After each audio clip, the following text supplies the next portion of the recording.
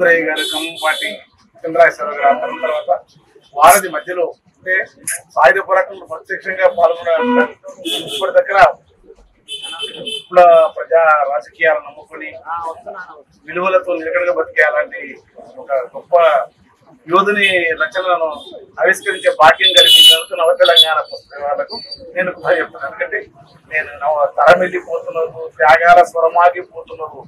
అనువంత స్వార్థం అంచుకు అనేక కడవరకు కష్టజీవుల వెంట నడిచిన ధర వెళ్ళిపోతున్న రాసిన అలుపులి నడక పేద జనం ఇచ్చిన పార్టీ ఇచ్చిన పాత సైకిలే కానుక. పాత పేపర్లపై పడుకుంటే కొనుకందు పచ్చడి మెతుకులే పరమాన్న ఎందు అని చెప్పి అలాంటి ఒక తరం విప్లవ రాజకీయాలకు ఆ ప్రభావం. అంటే బుద్ధుడు ఎప్పుడు వచ్చిందో క్రీస్తు పూర్వం డెబ్బై సంవత్సరాలు.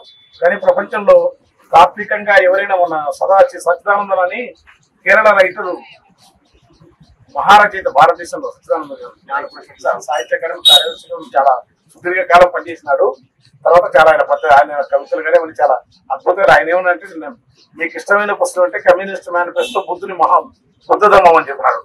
ఎందుకు చెప్తారంటే అందుకే ఎప్పుడున్నాడు బుద్ధుడు కాలవాసులో ఇంత కాలం జరుగుతుంది. కానీ వాళ్ళు చేసిన త్యాగాలు వాళ్ళ యొక్క స్ఫూర్తి సమాజాన్ని నీకు నాకు ఇష్టం ఉన్న లేకుండా తీసుకుపోయే తరం ఉంటారు.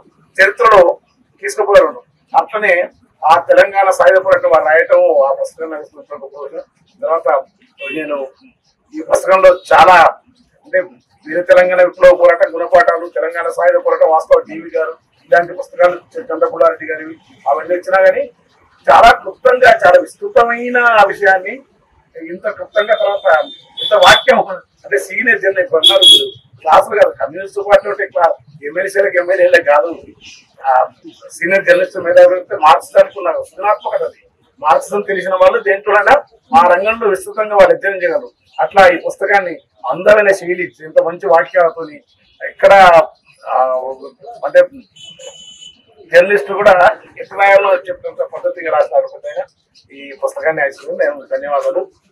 దేవులపల్లి వెంకటేశ్వరరావు గారు వారు మహానేత తన సర్వస్వాన్ని త్యాగం చేసి ధర్మనాయుడు జీవి దేవులపల్లి వెంకటేశ్వరరావు గారిని ఆయన పేరు రెండు పుస్తకంలో వారి గుర్తుకుంటుంది పెద్ద ఆయనకు. అది నేను కొంచెం ఆలోచించిన అట్లా. ఎప్పుడు అట్లా? ఇంటర్ప్రెస్ట్ కొంచెం అయినా అది. అయినా చదువుకోవాలి దేవులపల్లి వెంకటేశ్వర దేవులపల్లి వెంకటేశ్వరరావు